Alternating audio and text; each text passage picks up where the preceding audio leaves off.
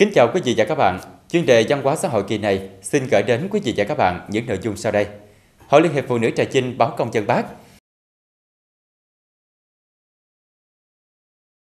Thưa quý vị và các bạn, đền thờ Bắc Hồ ở ấp Vĩnh Hội, xã Long Đức, thành phố Trà Vinh là biểu tượng sinh động của tấm lòng nhân dân Trà Vinh đối với bác. Hàng năm vào dịp 2 tháng 9, Hội Liên hiệp Phụ nữ tỉnh Trà Vinh đều tổ chức lễ dỗ dân hương tưởng niệm gắn với báo công dân bác. Năm nay, kỷ niệm 75 năm ngày cách mạng tháng 8 và quốc khánh nước Cộng hòa xã hội chủ nghĩa Việt Nam, 2 tháng 9 năm 1945, 2 tháng 9 năm 2020.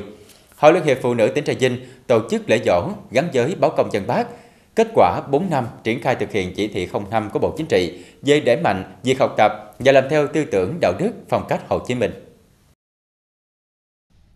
Trong không khí trang nghiêm thành kính, ngày lễ dỗ bác, hơn 100 đại biểu đại diện cho trên 160.000 cán bộ hội viên phụ nữ toàn tỉnh đã đặt vòng hoa và dân hương tưởng niệm bác Hồ kính yêu để bày tỏ lòng tri ân sâu sắc với công lao của bác và nguyện tiếp tục đi theo con đường mà Đảng và bác đã lựa chọn.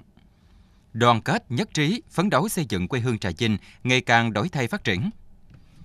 Phát biểu tại buổi lễ, bà Trần Thị Bích Phượng, tỉnh Quỷ Chiên, Chủ tịch Hội Liên hiệp Phụ nữ tỉnh cho biết, bằng những hành động thiết thực và sáng tạo, trong 4 năm qua, các cấp hội phụ nữ tỉnh Trà Vinh đã xây dựng nhiều mô hình có ý nghĩa để tập hợp đoàn kết phụ nữ. Cụ thể là cấp cơ sở đã đăng ký và thực hiện hiệu quả 300 phần việc hoạt động tham gia xây dựng nông thôn mới. Toàn tỉnh đang duy trì và nhân rộng 30 mô hình làm theo gương bác với 2.700 tổ nhóm câu lạc bộ, có trên 71.400 thành viên là cán bộ hội viên phụ nữ tham gia,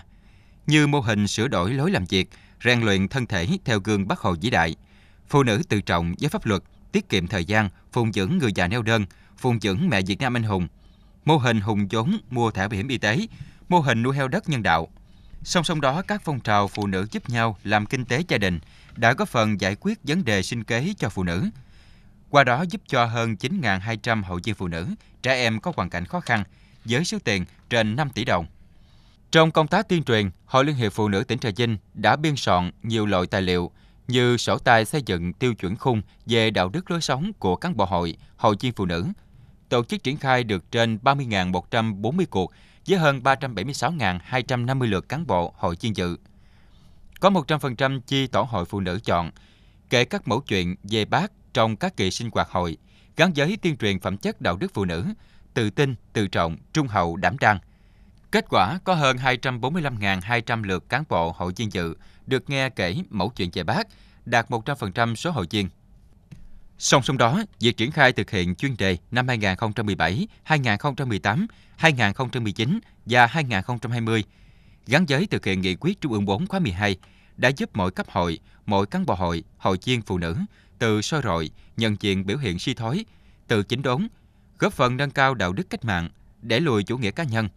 chống sự suy thoái về tư tưởng chính trị, đạo đức lối sống, tệ nạn tham nhũng, tiêu cực, xây dựng phong cách, tác phong công tác, hướng đến mục tiêu xây dựng đảng, xây dựng hệ thống chính trị và xây dựng tổ chức hội vững mạnh. Trong những năm qua, các cấp hội phụ nữ tỉnh Trà Vinh đã mạnh dạn đổi mới nội dung, phương thức hoạt động, chọn vấn đề trọng tâm để tuyên truyền, đặc biệt là triển khai phổ biến chỉ đạo 100% chi tổ hội phụ nữ, lựa chọn kể các mẫu chuyện về bác trong các kỳ sinh hoạt hội, gắn với phẩm chất đạo đức phụ nữ, tự tin, tự trọng, trung hậu, đảm đang, nhằm tạo sức lan tỏa trong cộng đồng, duy trì củng cố nhân rộng các mô hình học tập làm theo bác một cách hiệu quả và tích cực. Dịp này, Hội Liên hiệp Phụ nữ tỉnh Trà Vinh đã biểu dương khen thưởng 13 tập thể, 11 cá nhân có thành tích xuất sắc, tiêu biểu qua 4 năm thực hiện chỉ thị 05 về đẩy mạnh việc học tập và làm theo tư tưởng đạo đức phong cách Hồ Chí Minh. Cũng nhân lễ dỗ bác và kỷ niệm quốc khánh nước Cộng hòa xã hội chủ nghĩa Việt Nam 2 tháng 9, Hội Liên hiệp Phụ nữ tỉnh Trà Vinh tổ chức hội thi trưng bày các loại bánh dân gian trong cán bộ công chức viên chức, cán bộ hội phụ nữ, lực lượng vũ trang trên địa bàn tỉnh và đại diện Hội Liên hiệp Phụ nữ các tỉnh Vĩnh Long, Tiền Giang, Bến Tre, Long An và Đồng Tháp. Tổng số có 20 đội thi, mỗi đội gồm 2 thí sinh. Mỗi đội thi phải có bài thuyết trình về ý nghĩa từng loại bánh, hình thức trưng bày, nghệ thuật trang trí và chủ đề muốn thể hiện. Số lượng kích thước bánh trang trí phải hài hòa và cân đối cho đủ một bàn 10 người ăn.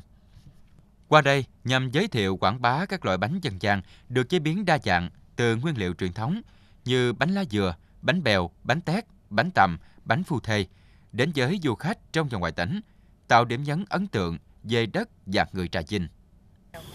Bản thân tôi thì thấy uh, trưng bày bánh dân gian là mang lại ý nghĩa À, rất là lớn để tưởng nhớ đến à, à, Bác Hồ, à, nhớ về quê hương Trà Vinh. À, từ đó thì để cho chị em à, à, tiếp xúc rồi học hỏi nhau à, để à, trưng bày các loại bánh như là bánh tét, bánh ít, bánh dừa, à, bánh tằm. À, thì hàng năm là à, nhân dịp ngày 2 tháng 9 là dỗ của bác là thường niên và bên đó bên cạnh đó thì hội liên hiệp phụ nữ tỉnh có tổ chức cái hội thi trưng bày bánh dân gian. À, song song với các hoạt động như vậy thì à, tôi thấy là cái hoạt động này là rất là có ý nghĩa. À, bởi vì à,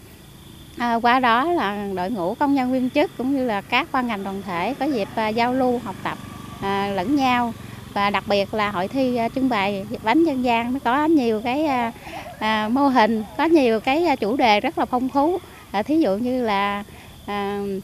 à, trái tim người lính hoặc là chủ đề về quê hương hoặc là thắng cảnh là bờ ôm thì đối với à, công đoàn ngành giáo dục thì hôm nay đi thi thì cũng à, đại diện cho liên đoàn lao động tỉnh với cái chủ đề là thắng cảnh ao bờ ôm Hội thi đã trao 8 giải gồm 2 giải nhất, 2 giải nhì, 2 giải ba và 2 giải khuyến khích cho các đội thi trưng bày bánh sáng tạo, bắt mắt và đúng chủ đề về quê hương về Bắc Hồ. Với sự độc đáo trong nghệ thuật trang trí bánh dân gian, hai giải nhất dinh dự thuộc về đội thi số 3, đơn vị Hội Liên hiệp Phụ nữ huyện Cầu Ngang và đội thi số 18, đơn vị Hội Liên hiệp Phụ nữ tỉnh Đồng Tháp.